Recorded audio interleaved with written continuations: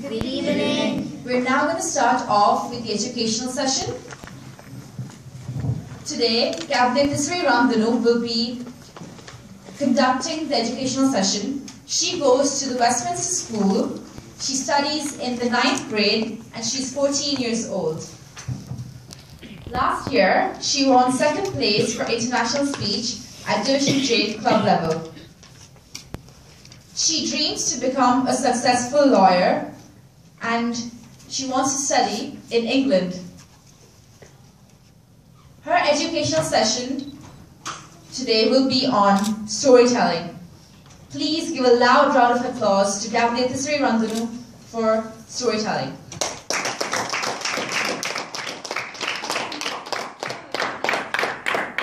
Thank you, Dr. David.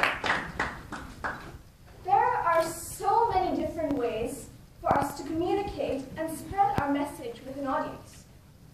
And here at the Gavel Club, we practice so many of those ways through our various roles, such as project speeches, evaluations, storytelling, and poetry. And today I will be talking about a specific role, which is storytelling.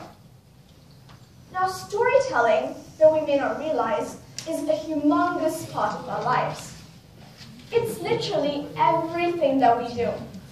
Even when you go to your friend in the morning and you tell her what you did yesterday, it's a form of storytelling. Because you're narrating your story of your day to another person. But to be precise, what exactly is storytelling? Can somebody read that out, please? The ability to narrate as text to a group of people. Now, this is storytelling put in its most brief form. But here at the Gavel Club, we don't present things to its minimum. We explore them and we try to do them to their fullest. So, in this presentation, I will be showing you how to do just that. Now, storytelling isn't something spontaneous. It can be, but when it comes to a role in the Gavel Club, it has to be well prepared. So, from the moment you hear that you're going to be doing your role, you have to prepare. First of you have to choose your story. And there are four very important factors that you take into consideration when you do this. The first is age group. Here in our Gavel Club, we have Gaveliers who are 16 years old, and we have 9-year-old Gaveliers too. And it is very important that you choose a story that will suit the little ones as well as the seniors. So, when you choose a story, if you make it too babyish or too simple or basic, the older Gaveliers will lose interest, and vice versa. So it's also very important to consider age group. Next, we have morale. Whatever we do, whether it be positive or negative, we always learn some sort of a lesson from it. And at the Gavel Club, we're here to grow. When we say something, it comes with a positive message that will help each and every Gavelier, or even the parents of the Toastmasters. So when you choose a story, choose a story with a meaning. What do we learn from it? We have so many different incidents occurring in our day-to-day lives. And sometimes they're positive, and sometimes they're negative. If it's a negative event, learn not to do repeat the thing we did in the future.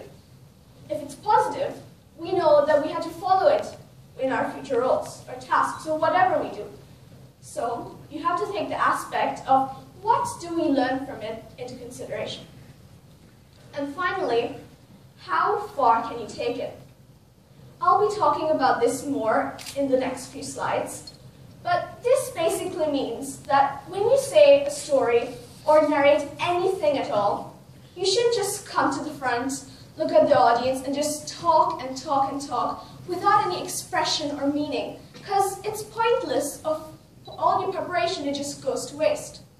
So you need to think about the distance you can take it and how many possibilities you have with the story you've chosen.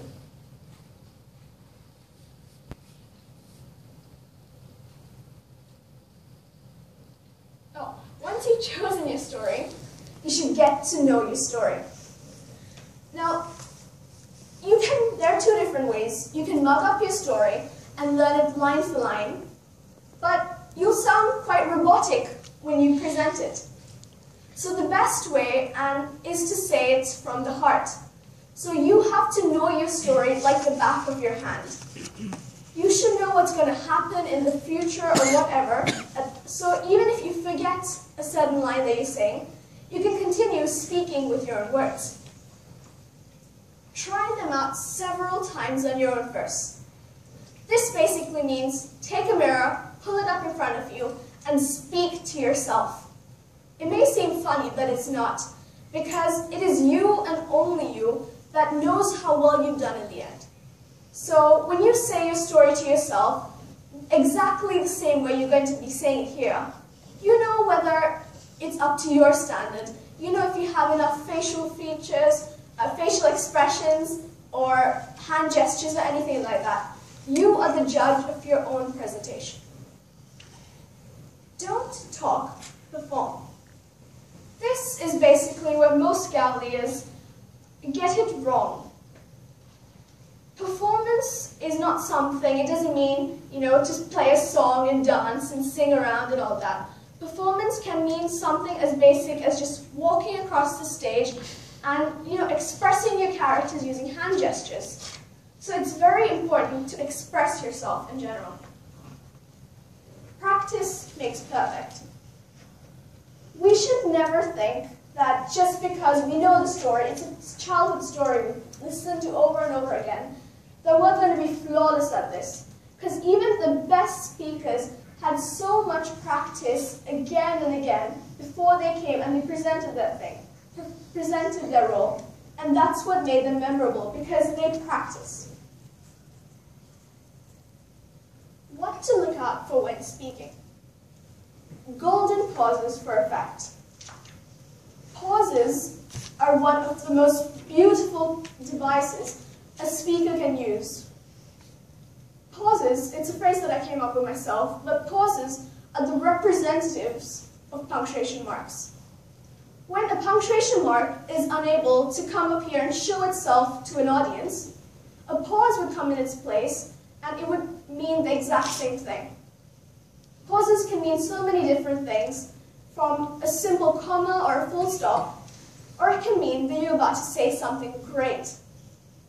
World famous speakers such as Mahatma Gandhi, um, John Kennedy, and Martin Luther King, their speeches became so special and so memorable from the small pauses that we, they made. So when Martin Luther King gave his speech, instead of saying, I have a dream, that one day, he said, I have a dream, that one day, that small gap in between a single sentence can mean so much and it can deliver so much emotion. Voice modulation. It's pointless coming here and just talking on and on and on in the same monotonous tone. You have to have voice variation to keep your people, in, keep the audience interested. So, basically telling a story is talking for a character who is unable to be there. So when you express, when you're telling a story, you should be able, when you're telling a story, you should express the character as if he or she was the one telling their story themselves. So voice modulation is very important. And you should talk according to the way the character would talk. If the character is feeling scared or worried or anything, you could speak really quickly in a high-pitched tone. Or if they're feeling happy, you could speak, you know, with a bounce to your voice and keep it interesting for everyone. Hand gestures and stage movement. This is where the acting part of storytelling comes into action. And it's very important because even though you express yourself using words, some people might not understand exactly what you're saying. So with a simple hand gesture or a facial expression, your message is conveyed so much clearer, and a person can actually visualize what you're saying. Facial expressions. This is one of the most important things because it's through your face the audience is looking directly into your eyes and your eyes can express so much feeling compared to any part, any other form of movement. So facial expressions are very important to convey emotion. Now I have an extract and I've chosen two great Gaveliers to read it out for me. The first Gavelier is Gavelier Tanya, and she will be reading it out. So Gavelier Tanya.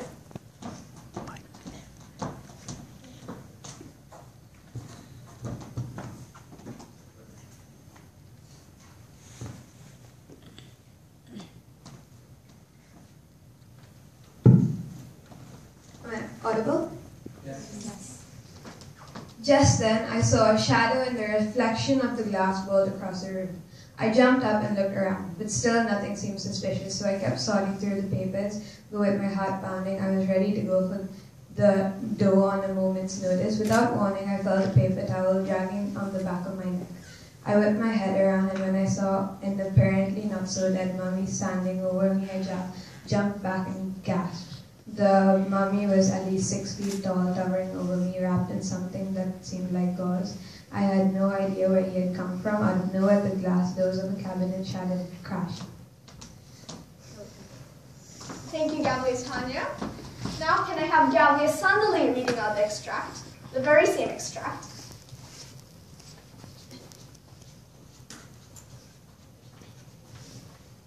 Just then, I s- just then I saw a shadow in the reflection of the glass balls across the room. I jumped up and looked around, but still nothing seemed suspicious.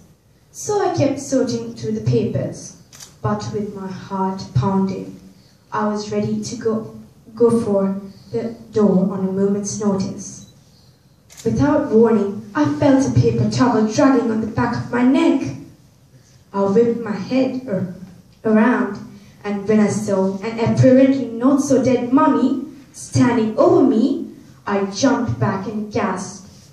The mummy was at least six feet tall, towering over me. Wrapped in something that seemed like gauze, I had no idea where he had come from. Out of nowhere, the glass doors of a cabinet shattered. Crash!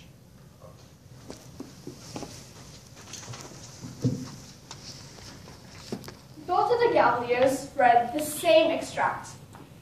Could you see a difference though? Yes. Can one of you tell me one of the differences you saw?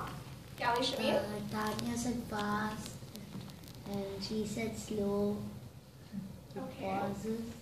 Any other, anyone else? Gavelier Sura? Yeah, uh, when Tanya was uh, uh, reading, she was uh, she didn't have a lot of uh, voice modulation. It was the same same speed, same uh, same pace, uh, no pauses. But it, uh, in somebody's uh, speech, she had a lot of uh, voice modulation and uh, different paces, golden pauses. Anyone else?